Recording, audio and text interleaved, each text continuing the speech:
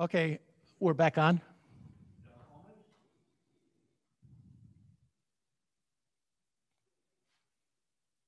Okay, welcome back. Thank you very much. Uh, uh, the most important thing we do in a workshop is have breakouts in which we try to tap the minds of all participants to figure out where the gaps and uh, what can we potentially do together to address them. Um, Rick Avila has taken the lead with uh, Raul uh, with uh, Javier Zulueta and uh, with Heidi Roberts in um, leading the breakout group. And Rick, do you want to bring us through your um, conclusions?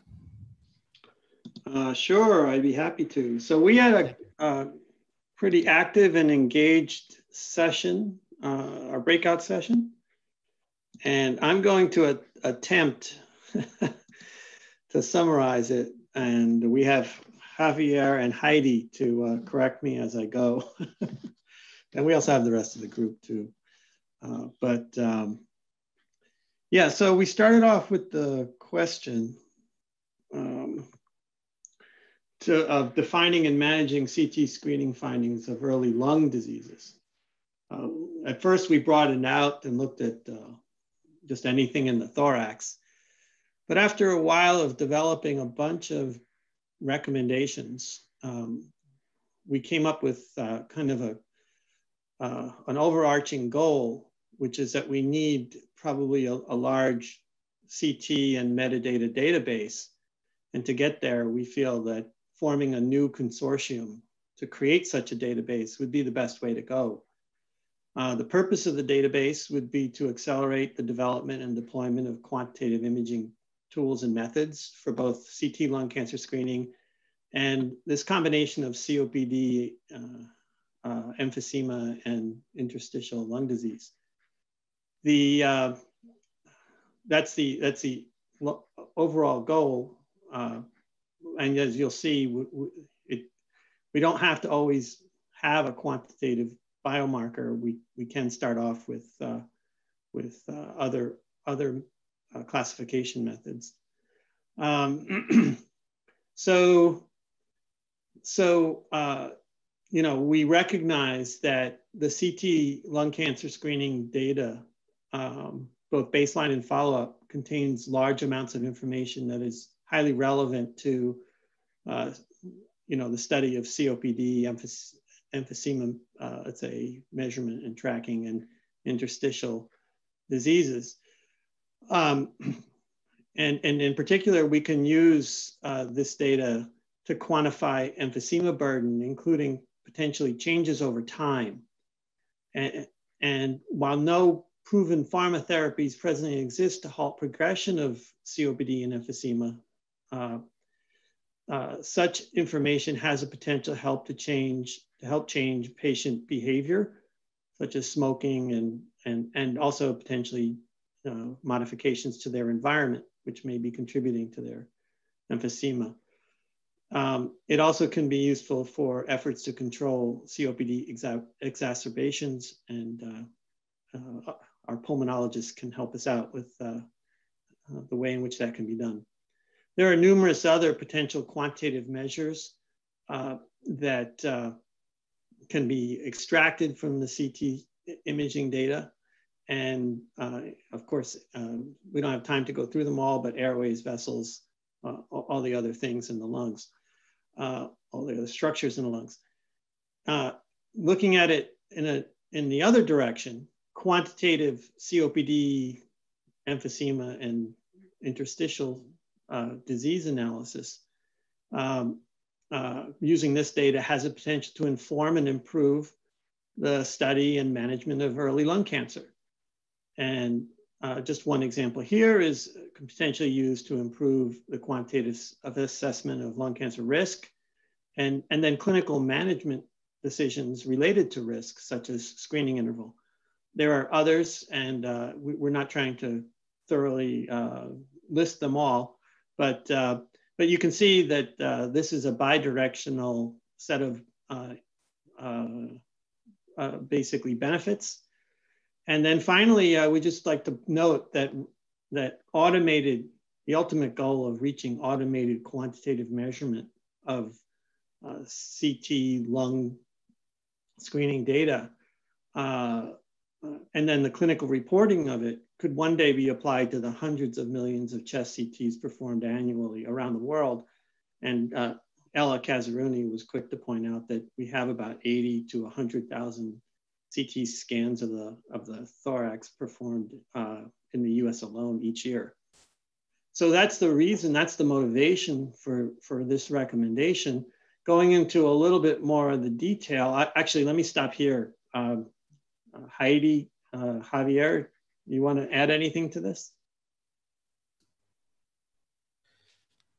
No, I think it was pretty well summarized. It was essentially the discussion between what can we see on the on the CT scans, what can we report on the CT scans in a um, standardized fashion, and then a lot about validation. And most of what um, we just heard about is about the validation part. Yes. So just to you know, it was it was pointed out yesterday that um, what what it would be looked for in this kind of setting is is uh, hypothesis generating uh, research, and then which would need prospective validation. And I guess something that we should add here at some point is you know what how what would the size of this uh, data set uh, uh, be or, or needed to be in order to, to be able to generate those hypotheses? Yeah, so we'll go into the additional slides here in a, in a, in a, second. Uh, but yeah, there's a lot of open questions for sure. So why don't I just continue a little bit further and then we'll, we'll open it up for questions. Uh, so we broke it down into a short-term goal, which would focus mainly on retrospective data collection, uh, and a longer-term goal, which would, would focus, again, actually focus on prospective data. Um, so from a retrospective data collection point of view, the initial collection goals and aims, of course, would need to be carefully determined and outlined. Uh, and uh, it is, it is uh, also recognized that a major goal of this collection effort is to support hypothesis generating research. So this would be uh, at the minimum data that would be, we'd be looking for uh, relationships and correlations that might inform a hypothesis. Uh, so we would get quantitative lung uh, phenotyping, uh, we would get quantitative lung phenotyping data from algorithmic uh, analyses. And we, we could invite a lot of actually algorithm developers in to run against the data and produce uh, data that might be useful in that regard uh, across uh, emphysema, airway, and, and you know fibrosis uh, types of analyses. If we can obtain spirometry and other relevant uh, clinical tests and patient, let's say patient reported conditions, uh, we can evaluate, we can look for correlations across those as well. And if we can further obtain quality of life and mortality, you know, longer term outcome information. This is retrospective data, so there's a chance uh, the, the, the, the, data and the hypotheses generated could support, um, you know, a, a, lot of research, but, uh, but launching pivotal studies and trials. There appeared to be um, a, a pretty strong interest from the group uh, we had a pretty high power group there, uh, and we do here, uh, in supporting this initiative and exploring what can be accomplished um, within a year. I kind of threw that timeline in. I hope I uh, didn't overstate the uh, aggressiveness of this, but uh, but but that's a short-term goal. Uh, next, we'll go to the to the long-term goal, uh, which would be the prospective data collection we put a lot more recommendations in here because we have a, a bit more control over what happens in prospective data collection. Uh, so th this is a real major opportunity here to collect high quality data informed by both the literature and our short-term results, the, the, re the, retrospective analysis. And we can launch uh, lung imaging research studies that leverage um, quant quantitative imaging resources and capabilities. We have a major advantage right out of the gate because with this team that we even have here, and I'm sure others would join, uh, we, we already have a real world-class team with the needed multidisciplinary expertise. And uh, I know it's uh, uh, probably known by most, but it's important to point out that um, we have very strong, of course, representation here from pulmonology, radiology, AI, computer vision, medical physics, statistics, metrology, and I just put information technology. I know I'm missing some fields here, but this is a this is the team that you need to really study this and get the most out of that CT data for lung uh, screening um, purposes. Uh, examples of data collection, analysis, goals, and studies. We could compare old and new methods uh, and sources of data. So we could we could we could uh, we could compare, uh, let's say, the, the retrospective data that we have against the prospective data and other uh, other studies uh, prospectively, if you will. Uh, we can independently validate um, basically the newly developed automated analysis method, auto, automated analysis methods, which which um, some of which have been reported this year and have you know uh, particularly for uh, measuring CT scans for COPD. Semi-quantitative rating scales are a step toward fully quantitative scores. So classifications like mild, moderate, severe for COPD uh, can be used at uh, certainly at the start. Um, and uh, you know this is the quantitative imaging workshop, but we need to take we need to walk before we can run. So it's okay to have um, you know nominal uh, uh, subjective scores to start with. And we can explore the use of Fleischner Society's um, emphysema scoring method, and apparently they also have one for interstitial disease as well. Uh, longer term, we can look at public health outcomes, potentially prove we can reduce and cost, uh, reduce cost and major outcomes, which can be designed into the trials. Um, it would be good to collect uh, patient-reported symptoms, not just um, you know the things that we we measure directly. And we we uh, what one idea was that uh, after a tool, uh, let's say maybe indicated that COPD was present, uh, maybe newly present, uh, you could have an algorithm basically recommend spirometry um, and and and uh, potentially uh, change the course of, uh, of that patient, uh, again, from a quality of life point of view, perhaps. We need to keep in mind that disease state information may already be known and, be, and, and is being already managed. So we, even though the quantitative tool might discover something like uh, a particular disease state, uh, the, the, the health record and the, the physician and patient may already be uh, be aware of it and be managing it. So um, it's not a so so we need to just keep that in mind. In addition to lung cancer um, and COPD emphysema, we have addition we, we, we can have additional projects uh, going beyond those, including coronary, coronary calcium, liver, and many other um, some people call uh, uh, incidental findings. Uh, we need to establish, of course, uh, standard nomenclature across the participating sites for this, uh, which is possible with a, a, prospective data collection. And we will also need to maintain good scanner protocol calibration and op uh, optimize for the, the clinical decision tasks that we're, we're, we're we are uh, basically focused on.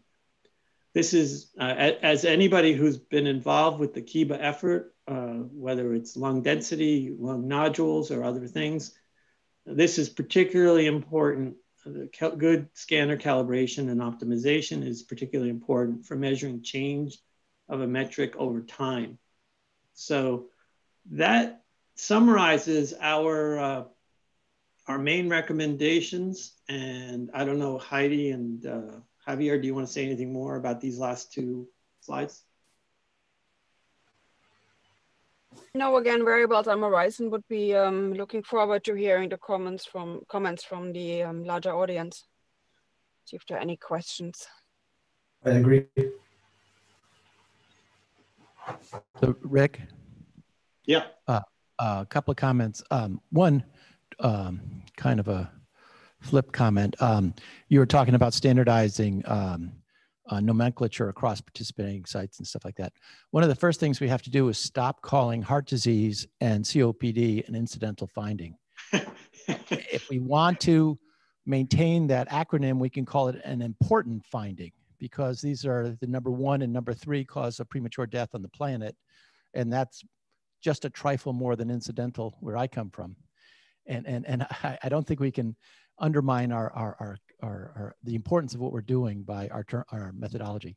But uh, more seriously, uh, no, that is serious. But in addition, um, uh, but but you'll note that the, I don't believe we use the word incidental in here. Uh, that that actually was was underlined quite a bit during the meeting. We all agreed with that, Tim. Okay, okay. Even though it, the word was used liberally throughout, Yeah, throughout yeah. the discussion, but, Yeah, we but got- my fault. Uh, it came up in the presentation because I said it. So sorry. yeah, it's okay. It's okay. It's okay. That's uh, I stepped on the landmine. I guess you could say. yeah, for sure. Um, Mary Ellen Giger in the presentation yesterday talked about the efforts they're doing nationally with COVID and whatnot. And one of the very important things they did that we've talked about, but I think you know, in the context of what you're just discussing, is important to uh, to uh, potentially uh, pull to the fore, and that is in these collections, we should intentionally start collecting images for like teaching, the teaching files and stuff like that that we've talked about in the past. In addition, um, a, a collection of images that will make commonly available with desired characteristics for a, uh, a developmental database for um, know the purposes of tool development and whatnot for the larger community, and then like they did with the FDA, potentially sequester uh, an element of the database, high quality, all the all the um, uh, collate all the uh, correlative information available, so that they can have a validation matrix to um, allow us to be more confident about the performance of of uh, of some of these tools with real world data. And I know this is something we've talked about, and you you are very supportive of, but I, I think we should state it explicitly because Lord knows this community needs those resources. Great. I think we all agree. So I have a few comments, Rick. You there? Am I? Yeah. So I- I'll start off by maybe saying something a, a bit provocative and purposely provocative to my pulmonary colleagues. I was uh, taken by the, the sense that there's a real sense of frustration of the lack of progress in developing any, any reasonable treatment for emphysema to the point where there's the idea that maybe all of what we're doing with quantification and getting you know down to percentages and whatnot of extent of emphysema may not even be that valuable uh, because after all there's not much you can do anyway and i think that that's to me you know if that's the prevailing attitude then this whole endeavor is on shaky ground um, but I think what we really need to be doing is thinking about, um, because I don't, I don't think that's true. Now, I, I don't have a drug that's going to necessarily work, but I think the action in emphysema is going to be on early disease, and and how do you measure early disease and how you measure um, change, especially, which I know this this is focusing on in terms of, of how you how we're going to measure change, especially in early disease, and, and how we go about doing that. But I think all of this should be with a view towards um, if we're setting up a consortium, I think the idea of a consortium should be built with a view towards uh, getting these tools that measure change uh, in, a, in a reasonable way, and then putting together the group that can test uh, the various potential drugs that are out there for early disease. Uh, and that's going to come from the screening population. We're going to get early cases. And how do we have a network that can start testing some of these drugs in early trials? Because that's where the action is going to be. We can, if we can start demonstrating that we can uh, put together a network that can test this, and the people, you have enough people in this group right now attending between uh, Matthias, uh, uh, Claudia, um, Heidi, you know, several people here, you know, we already could put together. So we should be thinking in terms of putting together, and this really should, you know, the idea of putting together a treatment group.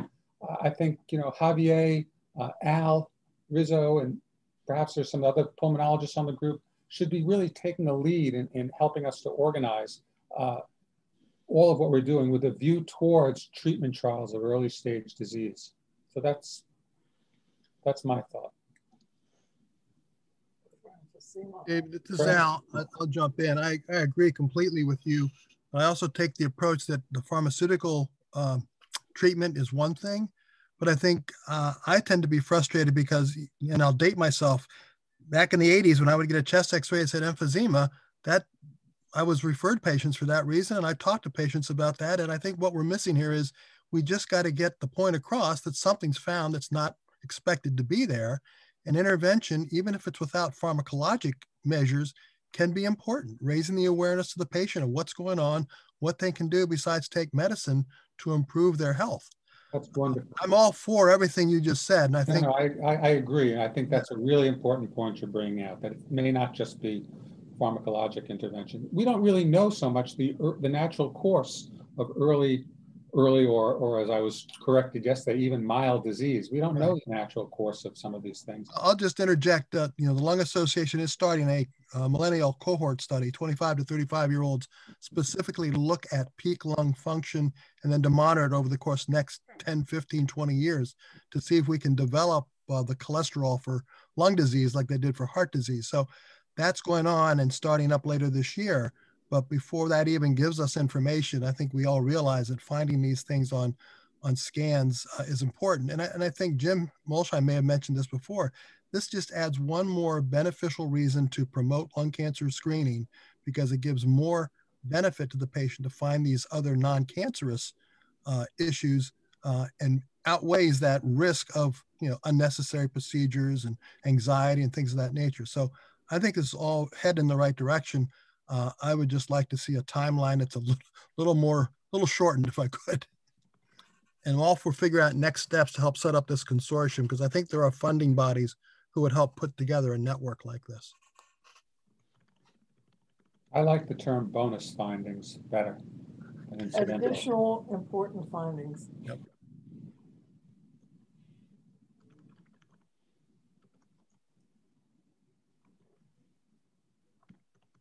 Any other comments?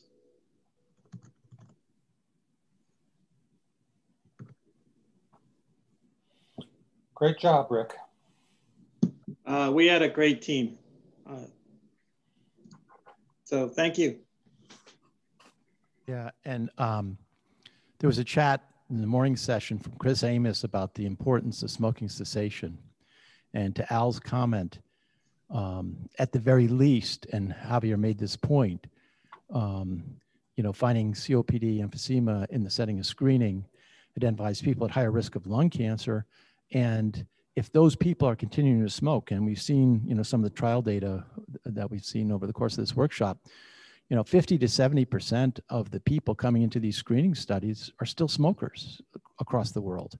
So, you know, if we can just use it as an adjunct to um, customize, personalize the, the uh, tobacco cessation intervention, that would be a giant win.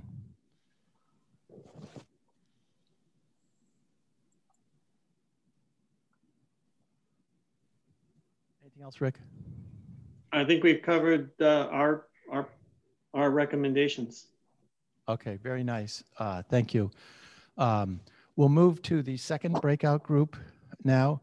And uh, I think we'll post the um, summary document.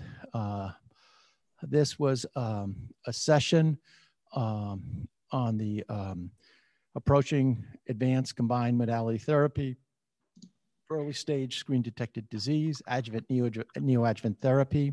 We've heard about this in the uh, presentations today. Um, this breakout was uh, led by um, Dr. Yankelevitz, uh, Rowena Yip, and myself. And um, uh, I will go ahead and just read some of the summary document that uh, Rowena and David helped me put together.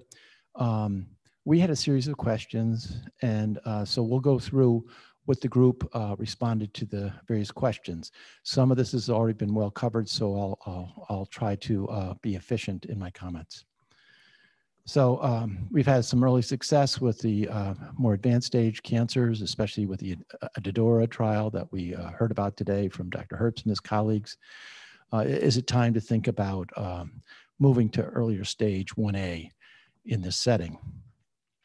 And so um, the group was very interested in doing this. There was uh, the comments about the fact that, uh, you know, the meta-analysis discussed today and yesterday had suggested that there was uh, potential harms in early stage, very early stage disease associated with use of, of conventional chemotherapy. And so there's a, a caution about dealing with a, uh, a group of people that in general have a very high curative potential. And we had the discussion about how to, how to call out uh, that through molecular, pathological, or imaging approaches, um, as you all recently remember. And so um, we want to focus in on the aggressive stage one disease for additional therapy. And we could potentially do that a variety of ways. we heard from uh, Phil Dennis that even, you know, the pharmaceutical companies are, are, are aware of the fact that with A disease, there's different considerations. And, and I think we covered that well in the panel. And that was a source of some discussion yesterday with the breakout. Uh, if I can move this screen up a bit, please. Thank you. That's fine. Um, there's a um, there's a variety of surgical issues that did come up uh, that were real world issues, and so um, even though there is this consistent 10% of people that recur um, uh, with stage 1A disease, finding them and um, uh, is a challenge, as we discussed. But the issue is um, do you approach all these people or do you only focus in on the people that for some reason or another have these signatures of, of additional risk? Our group concluded, and I think it was mirrored the discussion today, that it's probably necessary to, to focus on only that subset that have whatever features we determine to be uh, um, important in terms of more of an aggressive uh, aggressive um, natural history. Now, still in all, we have to keep thinking about the fact that um, early disease, there's issues of local regional, there's issues of, of disseminated disease. And as Dr. Layhill pointed out, there's also considerations of field carcinogenesis, where in those individuals that have a first cancer, we have to be concerned about additional carcinization that has occurred throughout the rest of the respiratory tract, and there'll be second and third cancers potentially. And so as we start approaching these people, I think we have to be very careful in, in focusing on what we are trying to address and at what point in the natural history it's more important to concern ourselves with local regional dynamics versus systemic dynamics in the metastatic setting versus field carcinogenesis things. And at least initially, if we're um, you know uh, going through uh, the logic that we uh, discussed yesterday, the pr principal uh, focus will be adjuvant. In an adjuvant setting, uh, really the, the, the therapeutic intent will be uh, across the local regional bed of, of the tumor resection. And we'll come to some more of the surgical considerations in the course of this discussion. Okay. Um, risk of recurrence, radiological characteristics. We've heard about this um, as, as suggested uh, by uh, Dr. Ukirk and Dr. Yankelevitz. Perhaps doubling time emerges as the most likely um, uh, critical feature that would allow us to select for adjuvant therapy. Um, we, we talked about the ADAURA trial yesterday, and, and it's it was a trial done in individuals from uh, sequencing that had uh, demonstrated presence of activating EGR, EGFR mutations. And so that's a subset of a subset. So even though they had very robust findings in that group, in thinking about all stage 1A patients, they will not necessarily all be uh, the EGFR approach will not be relevant to all of them. So that's when we got into the idea that we're we're going to be looking at other targets, as Dr. Uh, Herbst suggested, uh, with um, uh, immunotherapy. Potentially, we can we can treat more broadly, but it brings into uh, focus the fact that um, we're going to have to have more than one target that we'll be evaluating because no one target covers all the uh, all the subsets of, of, of aggressive disease. And so um, we've talked about in previous years, um, Dr. David Jablons presented his very nice data about using a, um, a, a, PCR panel to um, dis- to delineate a group of stage one a or actually stage one disease that had a more uh, aggressive phenotype and um, and he cross-validated that in China, and that was a potential marker. And I'll, I'll, remind you of the discussion we just had with Dr. Wistuba and others about this. And it's it's not clear that anything's ready for prime time. So um, we're going to have you know a little bit of challenge, and yet um, to satisfy the desires of Al Rizzo and lots of other people. We'd like to do this in our lifetime. So, starting with some approach such as using a uh, relatively simple and accessible imaging, uh, doubling time, or something like that, seems to be along the lines of our discussions today, and that and that uh, was uh, very, very much in line with what we just heard from the from the discussion group. Uh, again, can we uh, raise the um, text a bit? Thank you.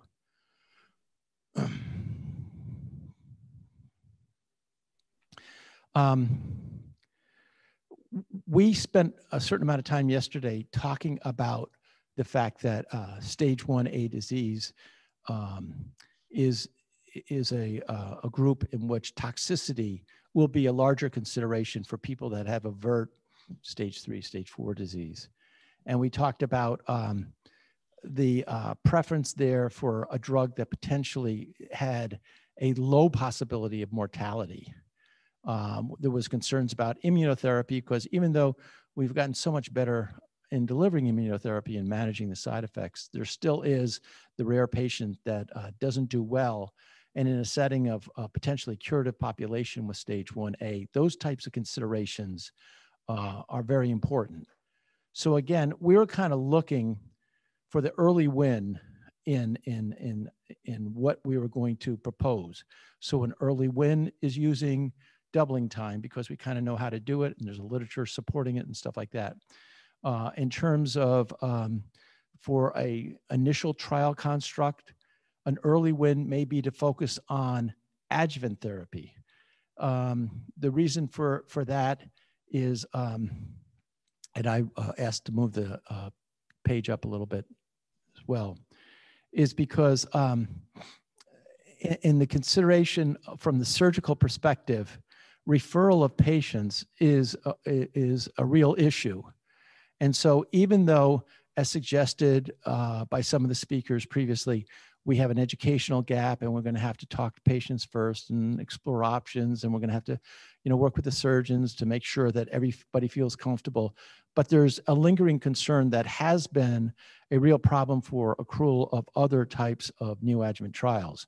So we want to start out with early wins. So we want to focus on drugs that don't have uh, high probability mortality. We want to focus on drugs where delays to surgery are not going to be um, uh, potentially uh, a big deal. So we um, we talked about that in, in light of, of some of the uh, issues that were echoed in the, uh, the breakout from the um, uh, session we just completed. Endpoints um, for these immunotherapy new neoadjuvant studies and, and whatnot uh, reflect the complexity of, of what we just heard about. You know, there's nothing that is definitive. And so there's an absolute understanding that we'll have to cast a broad nest in looking at endpoints. And so that means that we'll look at imaging in, you know, primary doubling time. But in addition, as a secondary feature, we'll look at other imaging signatures, some of which were discussed by Rick. We'll be looking at molecular endpoints. We'll be looking at pathology endpoints. We, we understand that some of these things may uh, be important by themselves, but when used in aggregate, they, they drop off as, as conveying information. And so uh, we're going to have to use advanced computational approaches uh, to make sure that we're, we're getting the, the most possible information in terms of discriminating biologically important signals that are occurring from whatever source. So as um, Dr. Hirsch uh, pleaded, we will use multidisciplinary approaches. Okay, uh, continue moving the slide up, please. Thank you. The text up.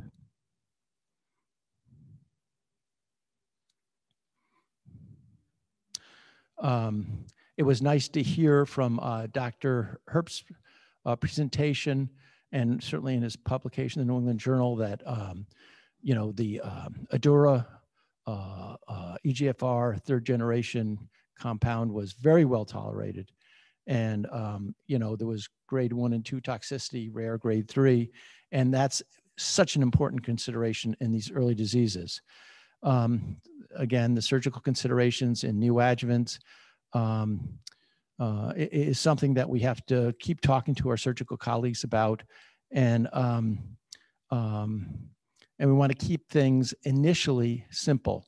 As we move on in terms of the evolution of this consortium that Dr. Yankelevitz and Avila have described, perhaps we can start getting into some of these areas where there's um, more complexity because we have um, you know figured out how to do things efficiently but uh, we want to walk before we run, uh, as someone else commented earlier.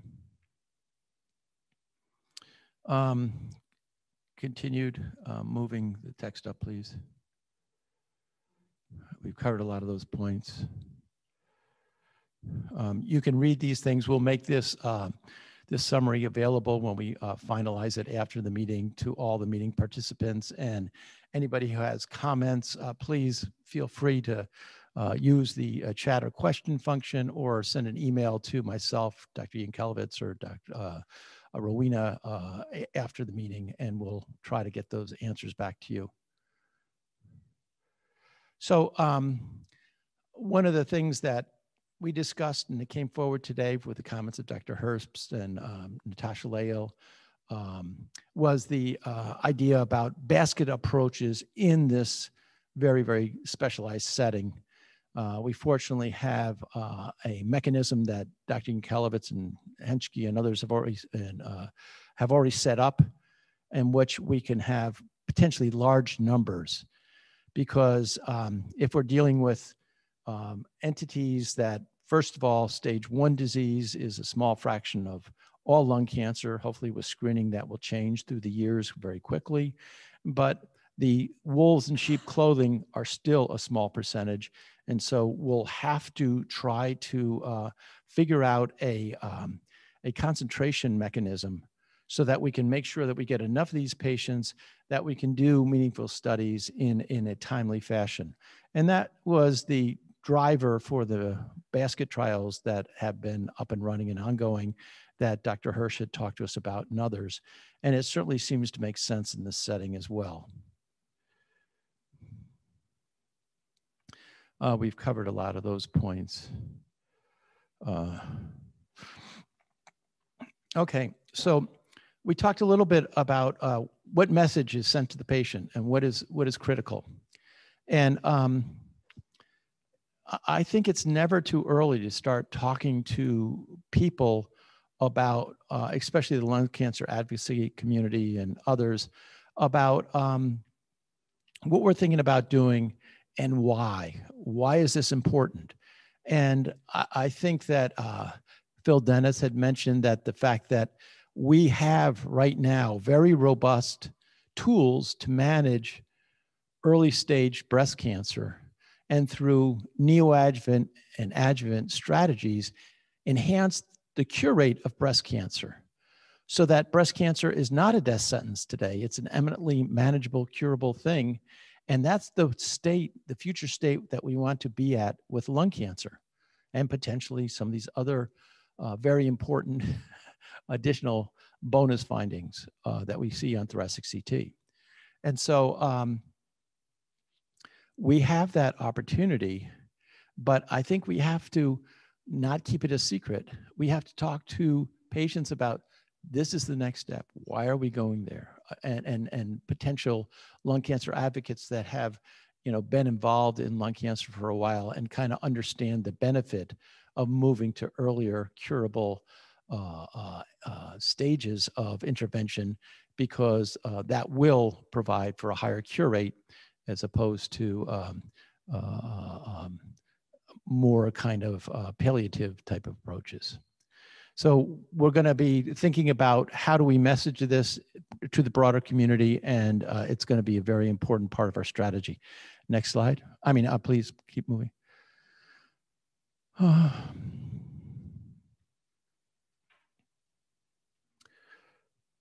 so it, it, has been discussed, and we mentioned that um, staging, you know, has been undergoing dynamic changes to uh, onboard the more recent findings in terms of pathology and molecular uh, molecular diagnostics, and this will continue. This is especially important in trying to flesh out our understanding of stage 1A disease and the spectrum of, of uh, biological entities that occur even in this part of early lung cancer.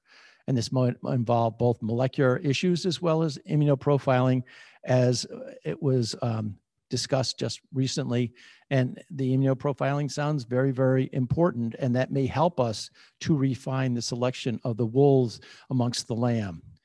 And um,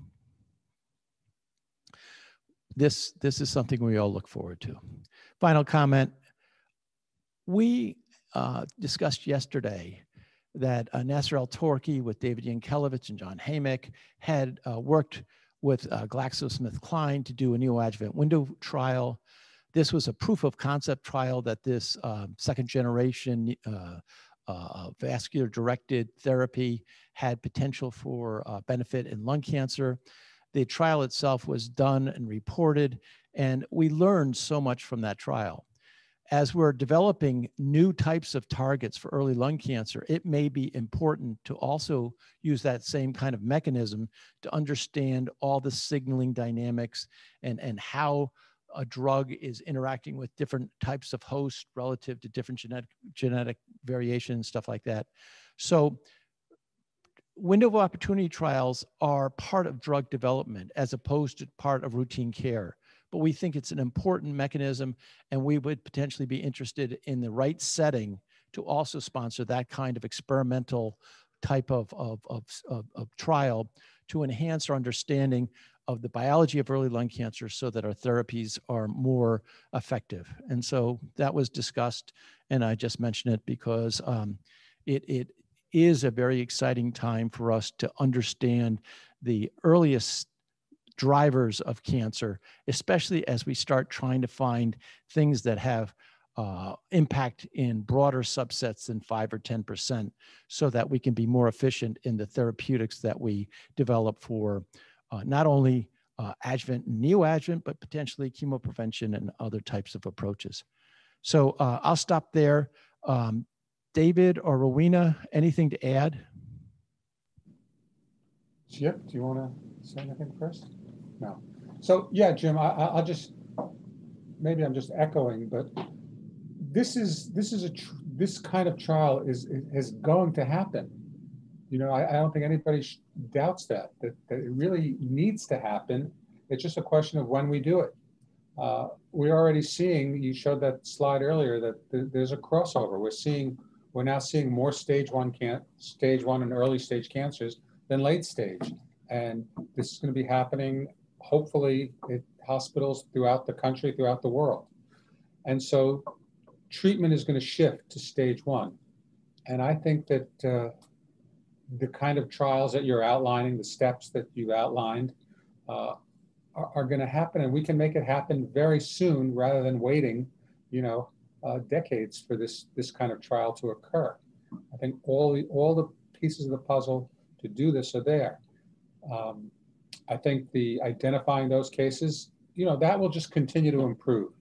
I think the mechanisms are already existing. I can just tell you, we already see a signal for, for doubling times being a good predictor. Uh, just on the ELCART data, we already see that. as, as being a, a predictor.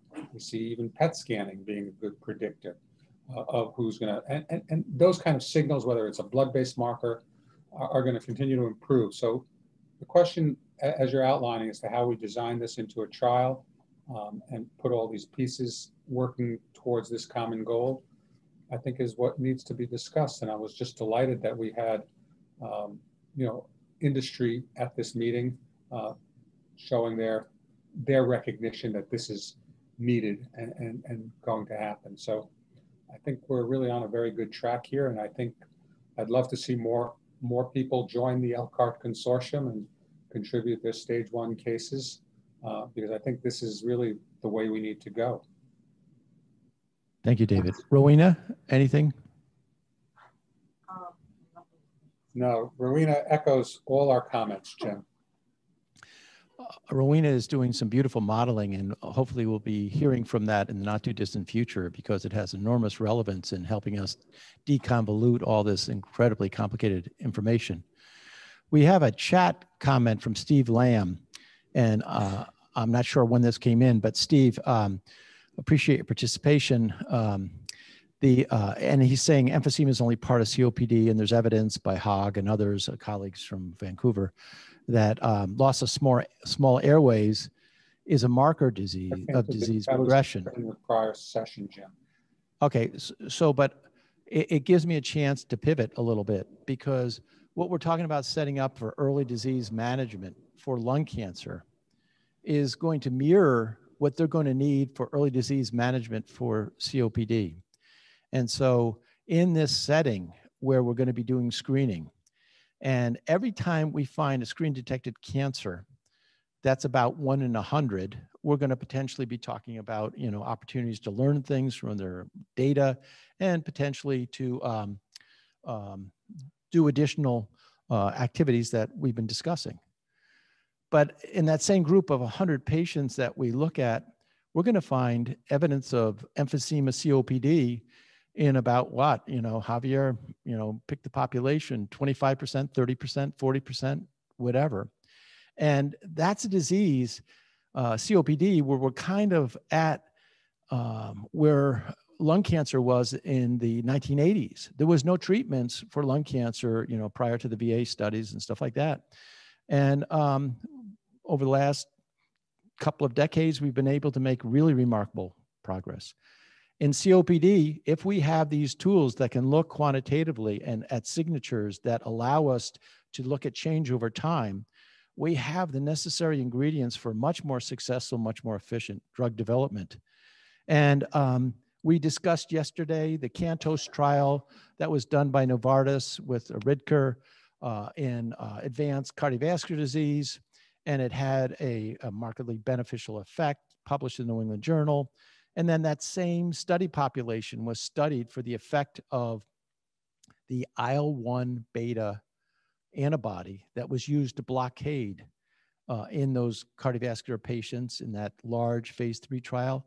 And as we saw in that paper in Lancet last year or the year before, that there was a 45% reduction in mortality for lung cancer in the experimental arm. And just this week in Annals of Internal Medicine, we see another follow-up study from that same CANTOS study data set in which in the experimental arm, they also had a reduction osteoarthritis manifested in both hip and knees in that same study population. So we're going to be talking about classes of immunomodulators that we know we're going to be using in lung cancer that are going to have effect on inflammation in other compartments. And in the setting of thoracic imaging, where we're finding high frequency numbers of COPD, high numbers of cardiovascular disease, in excess of the number of lung cancer cases we're finding, we're going to have the opportunity to explore the impact of those immunomodulation strategies across all those tobacco related disease compartments. And so this is an exciting systems biology approach to, to chronic disease management that we have never been able to do before. We've been kind of balkanized by organ sites. But in the chest, we have this opportunity to start looking at these mechanisms because with the kind of database that Rick's talking about us putting together, we're going to have endpoints that are relevant for sure in lung cancer. We're going to want all that information. But 98% of that information is also going to be relevant to COPD or perhaps to coronary artery disease. So it's a very important public health opportunity. Um, so uh, in addition, in the um, Q&A, we had a, a question about uh, Fred Grannis. I think we've kind of covered this. And, you know, Fred points out that 8% of screen detected uh, 1As uh, surgically resected will recur and die. So it's a small number. So um, uh, what's the degree of precision you can, you can you know, achieve in terms of molecular methods? And I think we discussed that. Uh, um, I think um, our wise panelists were skeptical about any of the molecular markers being ready for prime time, but I think they're all optimistic as we start rolling out a, a more comprehensive understanding of these different pathways of cancer. We'll, we'll get molecular markers that may, in fact, complement what we've been talking about in terms of imaging markers in a way that allows us to do better personalization of care for our patients. And um, but it's a, a hill we got to climb yet. Um, are there other questions or concerns? We have uh, a number of panelists still uh, on the line here. Any additional comments people want to make at this point? Matthias, I see you. I see you frowning. Are you um, concerned?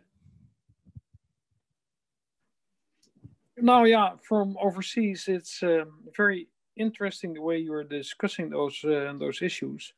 We are, of course, setting up here a network, and we hope to start with uh, you know, almost everything that has been discussed today uh, next year. And from this, I get the impression that uh, the major thing that should be overcome, and that's the big concern, of course, of Rick Avila, is the standardization the standardization of the acquisition method, the standardization of the processing of the data, the standardization also of the analysis of the data. And I think the, the QIBA initiative uh, is a very important one, but uh, it should be, uh, I, I, think that really should be accelerated to be successful, especially in the, in, in the field that we are, that is uh, the quantitative imaging of, of the chest diseases. I think the opportunities are the best there for quantitative analysis, but we should um, also, in terms of the acquisition uh, conditions, be uh, more stringent. And I think that should be that should come from uh, that should come from the QIBA group. And uh, Rick and his group and the QIBA group have, have, have of course already a lot of information as we already uh, discussed together when we were in the IASLC meetings. And um, from this, I understood that uh, it's a major concern that the quality is not comparable. Um, uh, that is what we should discuss also, I think, with, uh, with the vendors. Um, there should be set, I think, by the RSNA, especially standards by which you have which you have to meet to uh, to do quantitative imaging.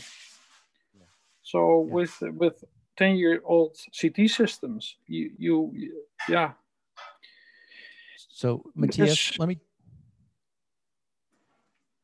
Matthias, um, that's my that's a big concern. Yeah, you, you asked for a, very, a big concern. it's a very appropriate concern. But one of the things that's come out across so many of those things that the most powerful biomarkers are going to be the ones that look at change in a feature over a time interval. And that's growth factor, uh, growth rates right now. But in so many other these biological assays, you never know what baseline is. But it's also often very informative once you have a couple of serial data points. You can sort out these yep. these these biological implications in a much clearer fashion. But the ability to measure change over time is extraordinarily complicated.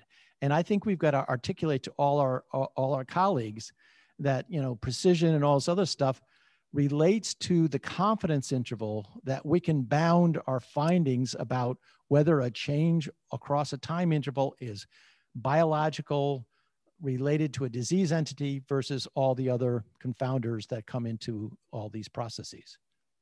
No, this is all true, but uh, we we are in a stage that a little is still a little bit more fundamental.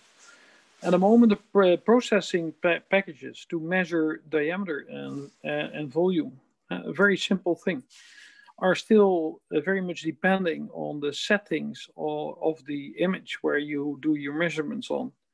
Now, it should be kernel independent, it should be setting independent, it should be uh, Windows and uh, independent. So there's a lot to do and it's yeah. still not done. And the, the, the vendors are just selling their products as the best, but there is no proof for anything of this. They, they, they and if you if you compared it, for example, uh, to the development of D-dimer, I, I did that before we were working on in the Netherlands on guidelines for the use of D-dimer. And it, oil, uh, it all boiled down after two or three years of discussion, comparable discussions, that as long as the vendors would not really comply to standards that would be set by us, nothing would happen. So at the end, uh, it started with five for, for pharmaceutical companies that came together at the end and said, okay, we have to standardize. And that is how it took six years only to get a standardized D-dimer test. But now uh, the D-dimer is, of course, you know, uh, yeah, it's it's a test that is done by millions uh, each year. Um, it's very cheap and it's extremely high, standardized and extremely sensitive, and can rule out thromboembolism just by one dollar. Yes. So that that's the that's direction I think we should go into. So standardization from the vendors must be a message that sh should be sent to them and not with a brochure that they are the best and that they can do everything, but proof, hard line proof that it meets standards that we set. Yeah. Thank you, Matthias. Um, I think the group here, you're um, preaching to the choir. And I think that really supports the idea of a consortial approach in which we have a lot of people involved in the development. So we have buy-in of a great expert community in terms of the soundness of the standardization types of approaches. Okay, we're approaching we're approaching the um, end of our time. Um, any final burning comments? We have a final burning comment. One, uh, one remark on the biomarkers. So at, at the moment, uh, we should discuss also, I think, which kind of role do we foresee first for uh, implementation of biomarkers in a diagnostic algorithm? And I think it would uh, help us enormously if we who, uh, would have uh, a biomarker, uh, whatever you call it, the liquid biopsy, or whatever, with an extremely high negative predictive value, which uh, renders out, for example, 50% of all the candidates that could come to the CT examination. And therefore, I think there will be biomarkers with uh, a signature of, uh, it can be very broad, of all kind of uh, constituents of the, of the plasma, which more or less predicts that the chance of developing lung cancer in that signature will be extremely low. So um, I think that's a complete other uh, direction of developing biomarkers than at the moment that they are focusing on the positive predictive value. Okay, thank you very much, Matthias. Um, final comments, David? I'll say amen to uh, what I just heard. Uh, this is, I, I, thought it was a very good session, Jim. I thought, I thought you captured, um, the meeting captured what we hoped for. So nothing additional to add. Yes, uh, thanks, David. Uh, I want to thank all the chairs, the moderators, the presenters, the uh, participants, uh, and all the people that help us. Those This concludes the breakout session, but please, uh, we're going to break for lunch, but we'll be back uh, for a very, very important session because um, we have a lot of great ideas. The question is, how do we drive it the last 100 feet into clinical implementation? And that has turned out to be across medicine an incredibly challenging thing. And so uh, our final session in the afternoon, starting at 1 p.m. Eastern Standard Time, is population health metrics, HEDIS and STARS. And this, this is a discussion about how we would potentially address this in the United States. And I understand we have an international audience, but the dynamics of how this is done country by country is going to be different. But fundamentally, critical issues are going to be shared regardless of what national context we're talking about. And so uh, Bruce uh, and Anita McLaughlin have put together, again, an all-star cast of experts who have worked on these issues across a variety of disease entities. And I think they have some very important information for us if we want to really bring these things into clinical implementation as we move and try to catch up with the rest of the world in terms of addressing uh, medicine with a more population health perspective. So uh, thank you very much. We'll rejoin at uh, 1.15. Thank you and have a good day. Uh,